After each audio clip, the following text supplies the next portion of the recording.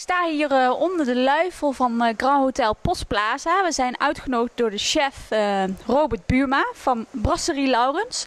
We zijn uitgenodigd voor een zeven gangen diner en we zijn heel benieuwd wat hij ons gaat voorschotelen.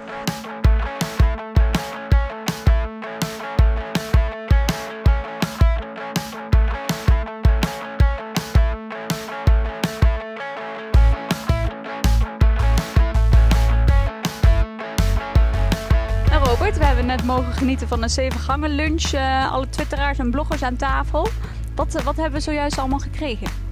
Zo, ja, we hebben een, een eigenlijk een doorsnee gedaan van uh, alle gerechten die wij uh, afgelopen tijd gesfeerd hebben. Elke week maken we een, nieuw zeven gangen. Um, alle items daarin worden ook zelf huis gemaakt, van het brood tot en met de pepermunt. We hebben uh, ja, een combinatie gehad van streekproducten. Uh, de, de, paling van Evert de Vries, daslook, onkruid, het ehm, Friese lam, ehm, wat groentjes uit, uit de omgeving. Wat vond je ervan? Ja, fantastisch. hier hou ik van. Zeven briljante gangen eigenlijk, zo hier in Leeuwarden bij Postplaza. En, begonnen met een lunch en het eindigt bijna als diner. Zolang ze mogen hier aan tafel zitten. Gewoon pure ingrediënten, pure gerechten. Streekproducten, dat is geweldig. En uh, het mooie is dat er gewoon combinatie op tafel komen die ik nooit zou hebben bedacht. Allemaal druk twitterend in ieder geval. En, ja, goed, die stiltes vielen niet alleen tijdens de telefoon, maar volgens mij ook tijdens het genieten van, uh, van de zevengangen van Robert Buurma. En dan is het gewoon elke keer een verrassing van wat komt hier voorbij op een bord. En dat vind ik leuk.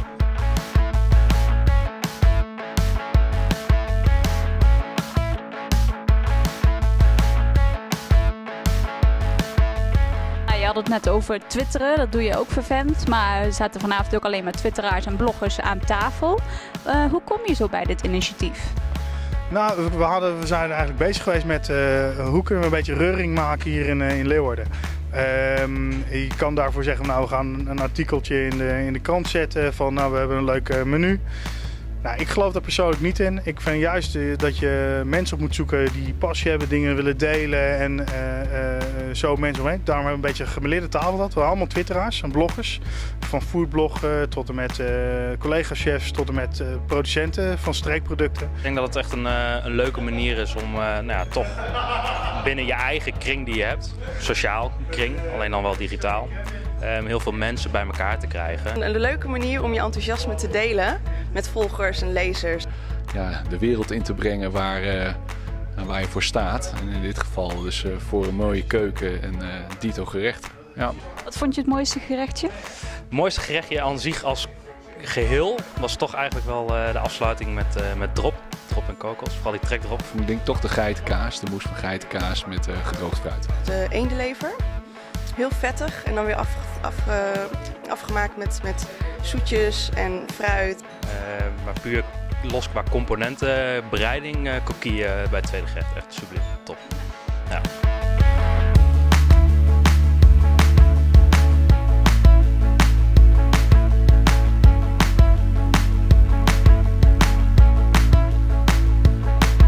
En al deze mensen hebben een passie voor wat ze doen. En als die mensen gewoon meeneemt in jouw verhaal, waar jij denkt dat passie voor hebt, ja, ik denk dat je dan veel sterker staat dan dat je uh, maar gewoon een advertentie doet. Dus ja, op deze manier uh, uh, te laten zien dat in Leeuwarden toch culinaire dingen gebeuren.